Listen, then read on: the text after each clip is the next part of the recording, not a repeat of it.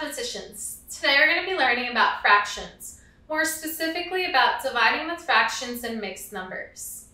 To get us started, we have 3 fourths divided by 7. The first thing we need to do is make sure that both of these numbers are in fraction form. So 3 fourths is fine as is, but 7 needs to be rewritten as 7 over 1. Then we're going to take the 3 fourths and multiply it by the reciprocal of 7 over 1, which is 1 over 7 to get our quotient.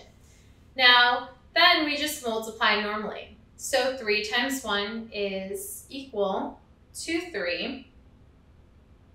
And then we're going to multiply our denominators. 4 times 7 is equal to 28. And that's it. Now we're going to do another example where we have 6 divided by 5 over 7. First step is to make sure that both of these are in fraction form. So 6 needs to be rewritten as 6 over 1.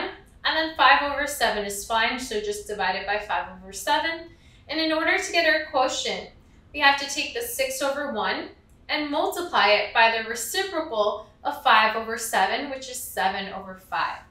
Then we're going to multiply our, our uh, numerators. 6 times 7 is equal to 42. And then multiply our denominators. We have 1 times 5 is equal to 5. So here we have an improper fraction, so we have to rewrite it so that it's a mixed number. So 42 over 5 is equal to 8 and 2 over 5.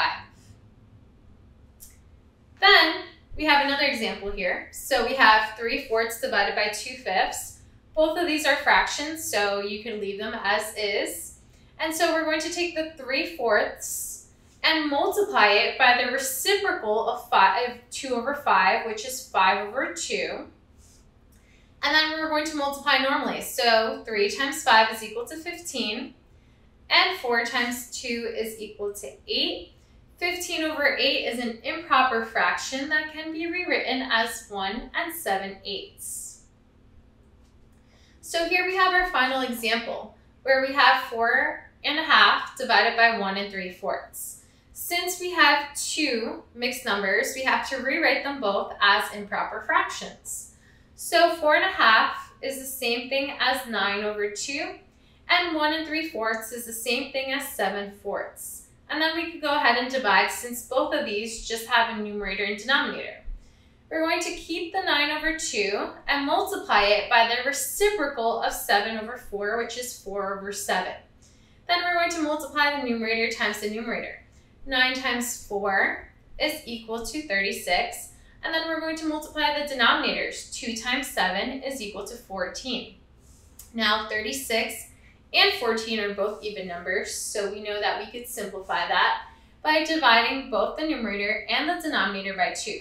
36 divided by 2 is 18, and 14 divided by 2 is 7, but then don't forget that we can write this as a mixed number, which is 2 and 4 over 7, because 18 over 7 is 2 and 4 over 7 as a mixed number.